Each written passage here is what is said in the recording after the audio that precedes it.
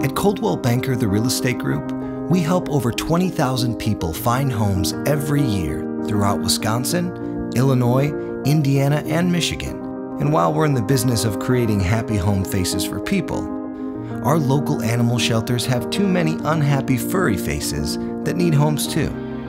This year, as part of Coldwell Banker's National Home for Dogs project, we organized 43 pet adoption events across the Midwest with a goal to find homes for 300 deserving sheltered animals. Local real estate agents with Coldwell Banker are teaming up and hoping to find 300 deserving pets a forever home.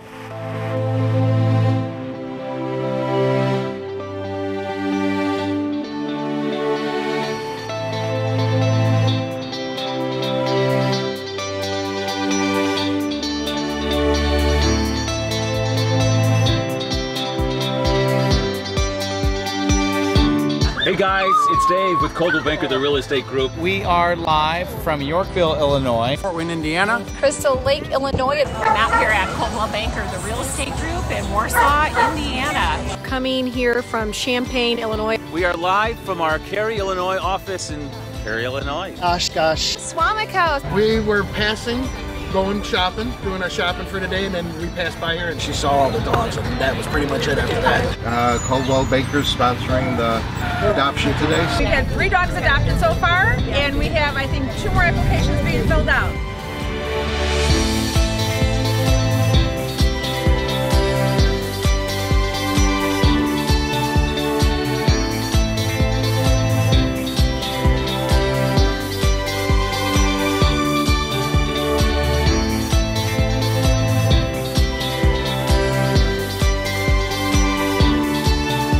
There's a bigger need out there. There are animals that are in need of loving homes and loving families in need of that final piece that makes them feel whole too. With our communities and be of assistance in many different ways. Um, we help people find homes every day, but we also want to help dogs find homes. Seeing the dogs find their forever homes, it's been such an amazing day.